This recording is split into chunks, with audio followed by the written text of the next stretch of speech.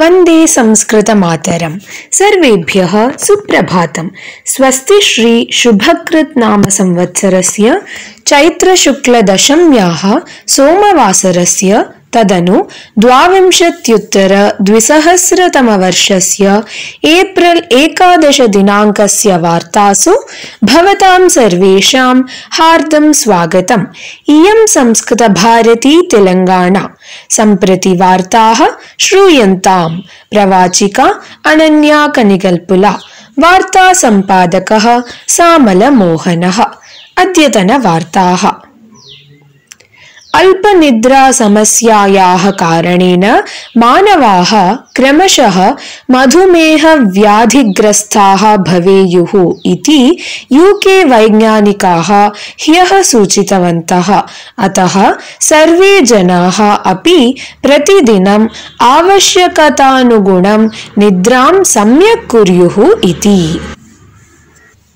भारतस्य प्रधानी श्रीमान् नरेन्द्रमोदीमहोदयः ह्यः गुजरात् राज्यस्य जुनागढ्प्रदेशस्य उमियामातादेवालयस्य चतुर्दशवार्षिकोत्सवस्य कार्यक्रमे दृश्यश्रवणमाध्यमेन भागं गृहीत्वा भाषणं कुर्वन् देशे करोणासूच्यौषधप्रदानं सफलतां प्राप्नोत्।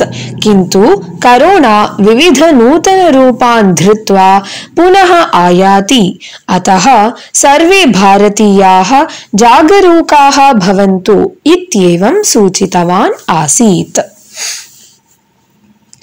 केन्द्रसर्वकारः रेल्वेशाखां पूर्णतया स्वायत्तीकरणं न करिष्यति तथैव रेल्वेशाखायाः चत्वारिंशत्सहस्राधिक एकलक्षनूतनोद्योगान् अग्रे प्रकटयिष्यामः इति च रेल्वेशाखामन्त्री श्रीमान् अश्विनीवैष्णवमहोदयः ह्यः उक्तवान् आसीत् उत्तरप्रदेशस्य Lucknow I I I T विश्वविद्यालयस्य इन्फर्मेशन् टेक्नालजि विद्यार्थी श्रीमान् अभिजित् द्विवेदी महोदयः अमेज़ान् संस्थायाः विंशतिलक्षाधिक एककोटिरूप्यकाणां वार्षिकवेतनसहितम् उन्नतोद्योगं ह्यः साधितवान् इति। कर्णाटकराज्यस्य शृङ्गेरीनगरे विद्यमानः केन्द्रीयसंस्कृतविश्वविद्यालयः श्रीरामनवम्याः अवसरे श्रीवाल्मीकिरामायणस्य अखण्डपारायणकार्यक्रमं परह्यः आरभ्य अद्यपर्यन्तं दिनत्रयं यावत् सञ्चालयति। राजीव् गान्धी परिसरस्य प्रांशुपालेन श्रीमता सुब्बरायभट्टवर्येण प्रारब्धे अस्मिन् पारायणकार्यक्रमे शताधिकाः छात्राः रामायणस्य चतुर्विंशतिसहस्रश्लोकानां पारायणं कुर्वन्तः सन्ति इति दक्षिणगङ्गासागरे अल्पपीडनमेकम् अभिभूतमित्यनेन कारणेन तेलङ्गाणा आन्ध्रप्रदेशयोः द्वयोः राज्ययोः केषुचित् जनपदेषु साधारणवृष्टेः सम्भावना इति पर्यावरणशाखा ह्यः सूचितवती तेलङ्गाणायाः भद्राचलक्षेत्रस्य मिथिलाक्रीडाङ्गणे श्रीरामनवम्याः अवसरे ह्यः श्रीसीतारामकल्याणमहोत्सवः वैभवेन सञ्चालितः। तेलङ्गाणामन्त्रिणः इन्द्रकरण् रेड्डी महोदयः पुव्वाड अजयकुमार् महोदयः सत्यवती राथोड् महोदया च स्वामिने कौशेयवस्त्राणि समर्पितवन्तः।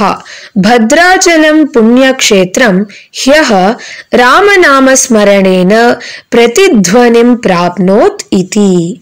इति वार्ताः। अद्यतनं सुभाषितम्। अश्वत्थमेकं पिचुमन्दमेकं न्यग्रोधमेकं दशतिन्त्रिणीकं कपित् अश्वत्थबिल्वामलकत्रयं च पञ्चाम्रवापी नरकं न पश्येत् भावः, यः एकम् अश्वत्थवृक्षम्, एकं पिचुमन्दवृक्षम् एकं वटवृक्षं दश तिन्त्रिणीवृक्षान् त्रीन् कपित्थवृक्षान्, त्रीन् बिल्ववृक्षान्, त्रीन् आमलकवृक्षान्, पञ्च आम्रवृक्षान् च एकस्मिन् उपवने वर्धयित्वा कापीमेकां निर्माति चेत् सः कदापि नरकं न गच्छति इति। अस्तु श्वः प्रभाते नूतनवार्ताभिः सह पुनर्मेलिष्यामः। तावत्पर्यन्तं मङ्गलं भवतु। धन्यवादाः। रामकथां शृणुमः धर्मरक्षणं कुर्मः